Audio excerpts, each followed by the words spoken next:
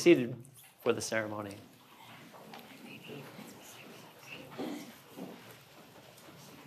Who gives this woman to be married to this man?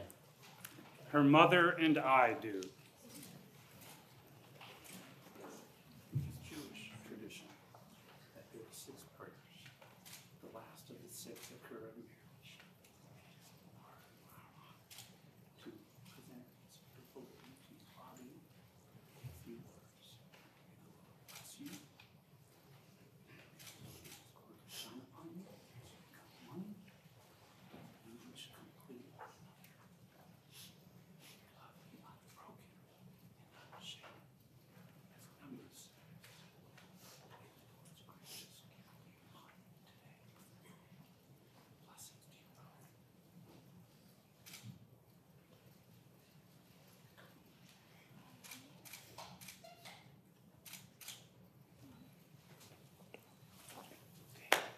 Welcome to family, buddy.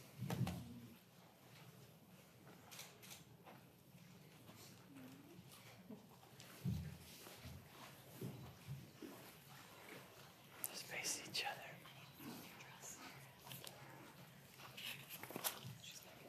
Precious moments. Welcome, everyone. And uh, if you would silence your cell phones. So good to have you here. I know that Bobby and Holly are thankful for each one of you. They've said that a lot to me. And today is a joyous celebration and a serious covenant ceremony before the Lord. So, Bobby and Holly are honored that you all are here uh, to support and love them. So, let us come and worship the Lord as we witness a covenant ceremony of marriage between Bobby and Holly. Would you pray with me? Lord, you're the sovereign one. I acknowledge your authority and rule in our lives. I'm here before you with my friends to ask your blessing on this ceremony and your blessing on Bobby and Holly. Lord, in every step through their life together, I pray you would strengthen them to rely on you and that you would enable them to walk through life in a way that honors you and brings great blessing to them. Amen. Amen. Um, Bobby and Holly asked me to comment briefly on a section of Scripture. Uh, you guys are uniting in an exciting relationship. You're both so awesome. Uh, we've gotten to know them, well, we've known them for a long time, but uh, they asked us to do their pre marriage counseling, and it was um, just a joy. Uh, they both walk with the Lord so closely. And God intends wonderful things for your relationship. Marriage is His doing, He made it up. And uh, He created marriage between a man and a woman to reflect His image to the world. And you get to do that. It's intended to be lifelong, you know that. It's precious, it's satisfying, it's fulfilling, and it's a wonderful relationship. And in Colossians chapter 3, um, God speaks a bit about his way in relationships. And uh, the foundation is a right relationship with Christ. He's the eternal God, He's the one who loves us. He humbled himself and took on flesh to dwell among us, and He came to rescue us and give us eternal life. And you guys all know Bobby. He's special ops, right? He conducts special ops missions for the Air Force. But guess what? So God conducted a special ops mission on that night in Bethlehem because Jesus came on a special ops mission to rescue us. He came at night, He came in an unsuspected way, and the Creator became the Savior. He lived a life that we could never live, and he died the death that we should so that we could be with him. He loves you guys. And he substituted for us, each one of you, on the cross. We just need to respond to him as Bobby and Holly have done, believe in him as their Savior, and he gives us eternal life in Christ Jesus the Lord. So, Bobby and Holly, uh, who you are in Christ is the foundation of your marriage, right? Amen to that. So, don't forget your success in life and marriage is an overflow of your relationship with God. So, uh, I think God lays out a great foundation So let's hear from the Word of God in Colossians 3, six verses, 12 through 17. I'm going to read the Word of God here.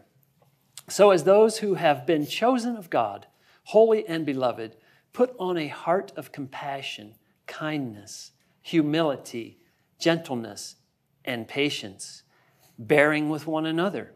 And if one has a complaint against another, forgiving each other, as the Lord has forgiven you. So you also must forgive. And above all of these, put on love, which binds everything together in perfect harmony. Let the peace of Christ rule in your hearts, to which indeed you are called in one body, and be thankful. Let the word of Christ dwell in you richly, teaching and admonishing one another in all wisdom, singing psalms and hymns and spiritual songs with thankfulness in your hearts to God. And whatever you do in word or deed, do everything in the name of the Lord Jesus, giving thanks to God the Father through him. God says to imitate Christ's compassionate, forgiving attitude. He says, put on compassion, kindness, humility, gentleness, and patience. He says to bear with one another and forgive each other so our loving Father recognizes that we will have some disagreements, right? Everybody in the audience who's married. Bobby and Holly, you'll have to bear with one another at times, even though you, mm, I don't know. It's going to happen. God says to put on his attitude in the scripture. This requires intentional action, putting on. God says, don't forget to get dressed with Jesus' compassionate, forgiving attitude every day. And I know you both do. That's encouraging. Second, God says, let love reign in your heart. The Bible says there, above all, put on love, which binds everything together in perfect harmony. So, Bobby and Holly, if you want to keep a close, vibrant, tender, gentle marriage relationship, put on His love in your personal life and let it overflow into your marriage. And a successful, fulfilling marriage is the overflow of your relationship with the Lord. We've talked about the importance of oneness in marriage in our pre-marriage counseling, and this is one of the keys to building and maintaining oneness. Third, the Bible says, let the peace of Christ rule in your hearts. Well, rule is an athletic word that means to act as an umpire, interestingly enough. But it's more than just being an umpire in sports or a ref in soccer or football. It means to let the peace of Christ act as the one having authority to arbitrate and make the final decision in your marriage. As you both allow the peace of Christ to rule in your lives and arbitrate all your discussions, the result will be joy and peace and oneness in your marriage and in your home. Let Him be the umpire. Fourth, always be thankful. There's something about being thankful that changes a person's outlook. And when you begin to thank God, even in the toughest circumstances, it changes your focus and changes your heart. So, a thankful heart does powerful things in a marriage. So, don't forget to be thankful. Fifth, keep God's word in you at all times. The Bible says, let the word of Christ dwell in you richly. So, Bobby and Holly, Make it a priority. I know you do. I appreciate that. Keep making it a priority, I guess I would say, to read the Bible, to meditate on God's Word. It's God's Word that ought to be the foundation for all you think, feel, and do. And without daily focus on God's ways, there's little chance that you'll be able to follow God's blueprint in your marriage. Got to stay focused on Him. Finally, in everything you do, live as Christ's representative to each other. The Bible says, whatever you do in word or deed, do everything in the name of the Lord Jesus. So have that attitude that you're Jesus' representative to your spouse. How cool is that? It'll revolutionize the way you relate with each other. You'll have hard days, yeah, when you feel like you need more from, the, from your spouse than you're getting, or you don't feel like they're meeting your needs. And these are the times you need to communicate with each other with the right heart attitude. Tough times are reality, but you can deal with that as you walk closely with the Lord. Make up your minds to bring honor to Jesus, and you have in every aspect and activity in your life. So, life is too short, and the consequences are too significant uh, to ignore God's ways in your relationship. So, Bobby and Holly, by the grace, we don't do, I can't do it, you can't do it in our flesh. We trust in the Lord, the Holy Spirit in us. I charge you to pursue these six things. One, imitate Christ's compassionate, forgiving attitude. Let love reign in your life. Let the peace of Christ rule, be the umpire in your life. Always be thankful. Fifthly, keep God's word in you at all times. And finally, live as Jesus' representative to your spouse. Amen? Amen, Amen to that. So, uh, Bobby and Holly want to express their profound gratitude um, to their parents and grandparents for the constant love and encouragement they've been. These are yellow roses of Texas, right? and these roses represent Bobby and Holly's precious love and thanks to their parents and grandparents.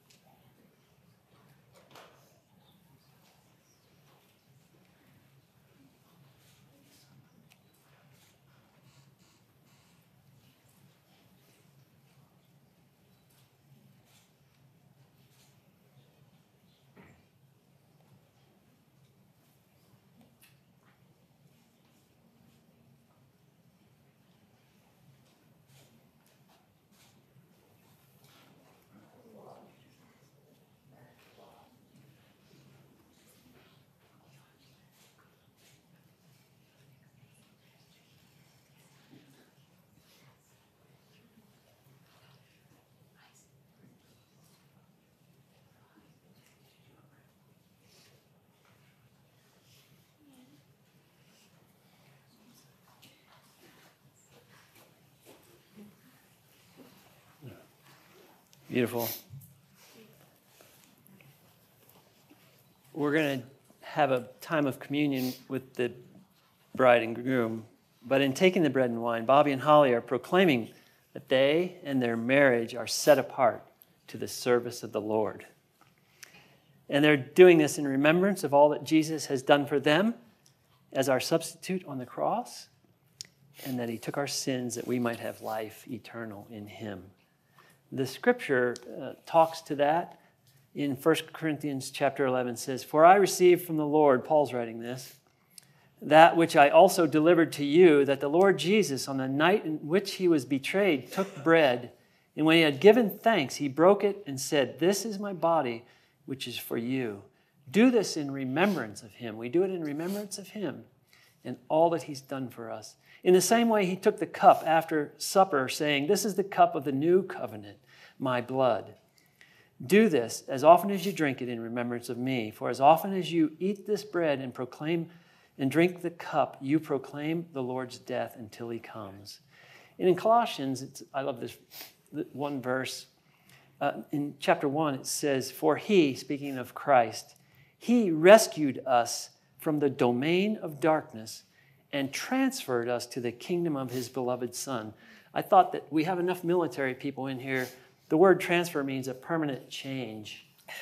And so what happened is that Jesus PCS'd you. all right, all you military people? No, serious. You were PCS'd from the domain of darkness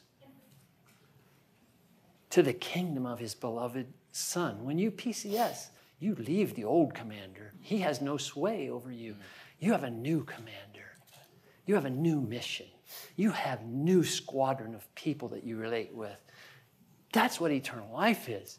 God has given us a PCS to the kingdom of light, and it, you never go back.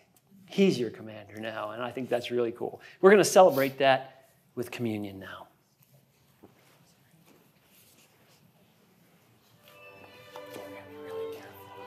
This thing tilts. Yes. So, you know, you guys, Jesus loves you crazy. Yes. He loves you crazy. He died for you. And he he lived a life for you and he rose for you. And he wants he wants you to remember that and to serve him all your life. So but this is Christ's body broken for you. Christ's body broken for you. Go ahead.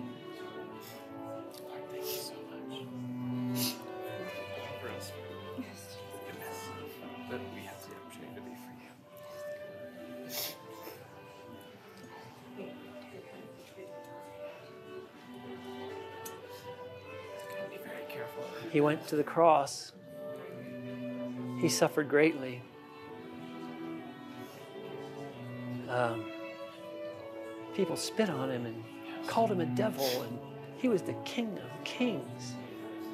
And uh, but he went for the joy set before him. Hebrews 12 says, "You are the joy set before him." That's why he went to the cross.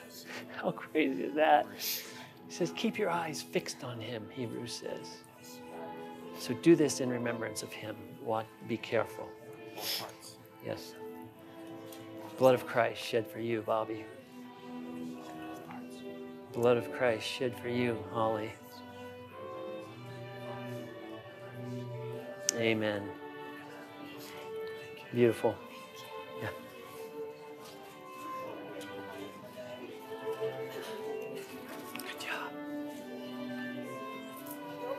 She's to fix your dress.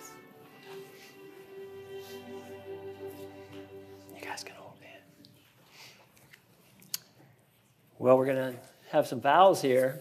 But before we uh, state your wedding vows before God and one another, I want to encourage you both. In today's culture, people make pledges and promises almost daily, only to abandon them uh, when it's not so useful or advantageous anymore. And that's the culture. But today, in this wedding ceremony, um, you're making a commitment to each other that's for life. And it's a concept taken from the Old Testament. The vow is a spiritual oath or pledge between God and the person making the vow and between each other. It's a sacred dedication for better or for worse. So, Bobby, repeat after me. You make this vow to Holly. I, Bobby, I, Bobby, in the presence of God and these witnesses, in the presence of God and these witnesses, take you, Holly, to be my wife, take you, Holly, to be my wife, to have and to hold from this day forward, to have and to hold from this day forward, for better, for worse, for better, for worse, for richer, for poorer, for richer, for poorer, in sickness and in health, in sickness and in health, to love and to cherish until death do us part. to love and to cherish until death do us part. Amen. Holly, repeat after me. I, Holly, I, Holly, in the presence of God and these witnesses, in the presence of God and these witnesses, take you, Bobby, to be my husband, take you, Bobby, to be my husband, to have and to hold from this day forward, to have and to hold from this day forward, for better, for worse, for better, for worse, for richer, for poorer, for richer, for poorer, in sickness and in health, in sickness and in health, to love and to cherish until death do us part. to love and to cherish till death do us part. Amen. Wow. okay, I'm crying now.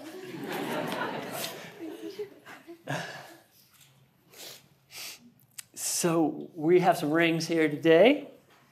And this is an example, thank you, and a reminder of this covenant, right? And your marriage vow. So, Bobby and Holly will give each other these wing, rings, wings, to you wascally wabbit.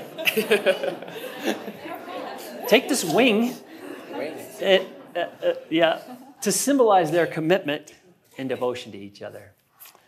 So, so Bobby. Yes. It's the first time she's seen Oh, it's the first time she's seen it.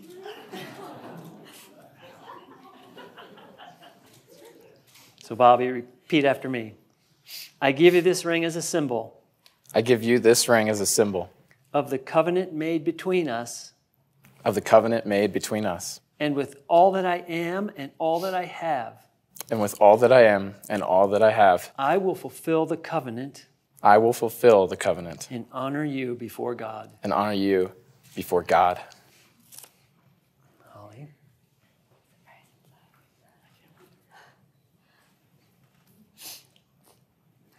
It's okay, you can leave it like that. There you go. Holly, repeat after me. I give you this ring as a symbol I give you this ring as a symbol of the covenant made between us. of the covenant made between us.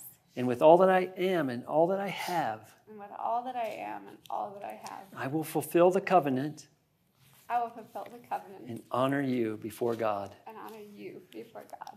Amen. Would you pray with me? God Almighty, we pray that you would enable Bobby and Holly to honor and keep these vows in the power of your Holy Spirit.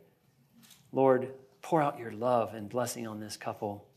Use them mightily to reflect your image to a broken world. Lord, give them wisdom as they reproduce a godly heritage in their own new family. And Lord, give them great joy in their marriage. Amen. Amen.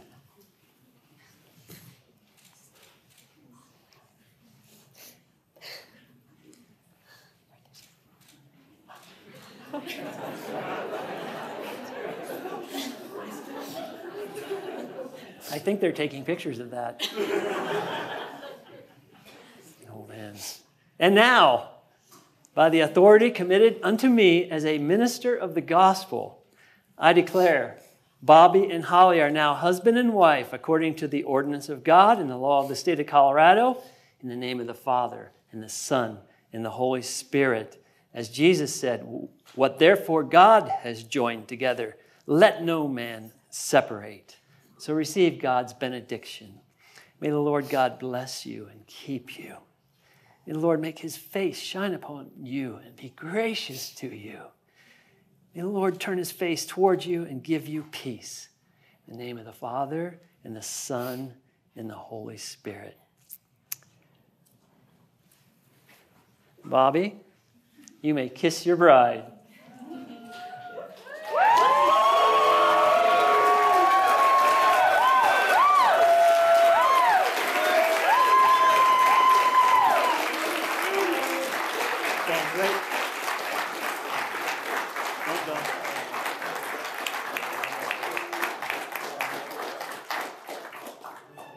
Ladies and gentlemen, it gives me great pleasure to present to you Mr. and Mrs. Uebelacker.